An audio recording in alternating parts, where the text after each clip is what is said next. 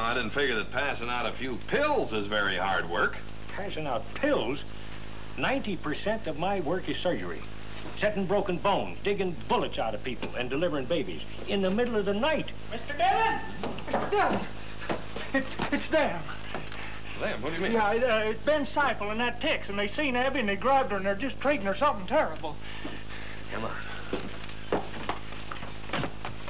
Putting on airs, are you? Think maybe you're too good for us, huh? About time you taught another No, lesson, Ben, Abby. please. Come here. Hold it!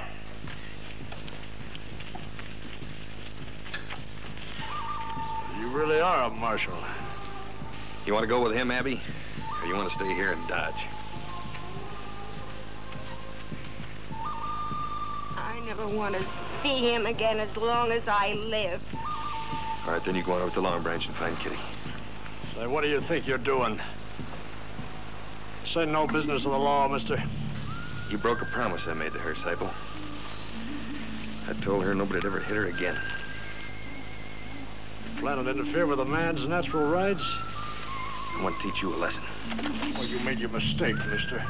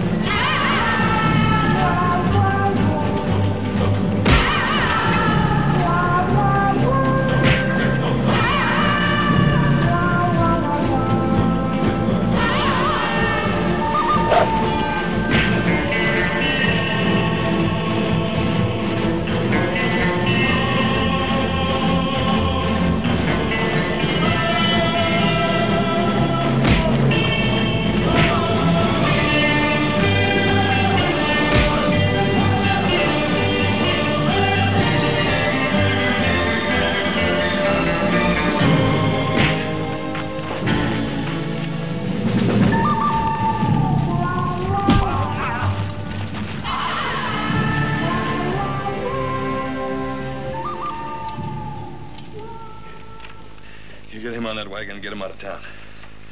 And don't ever come back. I sure will, Marshal. I never knew Seipel could ever be beat.